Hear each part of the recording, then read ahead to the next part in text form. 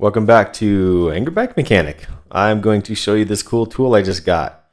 It is on this website, up.bike, that's in Upper Peninsula, from this really cool company.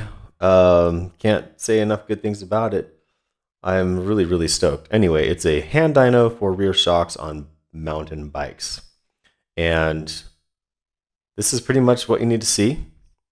The product is exactly as you see it on the website. It comes with the, uh, the lever off, the pin pulled, so it's super easy to assemble. Um, you just put that pin back in that lever and you're good to go.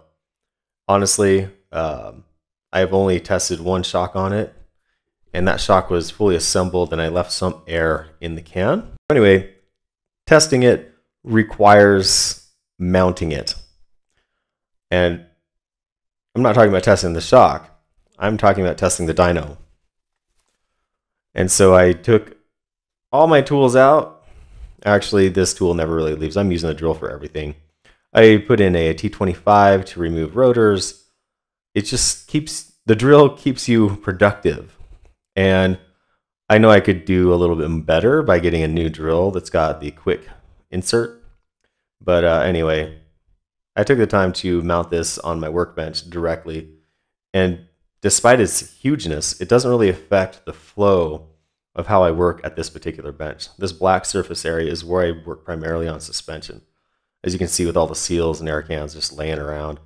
Um, there's all sorts of sizes of O-ring picks and everything like that. So I got to make sure I keep it relatively clean. I'll give this a deep clean after I get this all mounted up. So I used some big wood screws. I want to go back and probably do some lag screws, but I use that 2x4 to reinforce the side I'm working on, that left side. Um, that's what I'm actually holding it up from the bottom. Okay, now I'm going to get all mounted, finalized. I used a 13 millimeter um, socket wrench. You know, sending it in with the drill makes a lot of sense. It's just great. Drills are great. And then make sure that it's pretty torqued with my hand tools reassemble it by putting the pin back in the, the handle, the lever, and uh, put a shock on real quick. The same pins.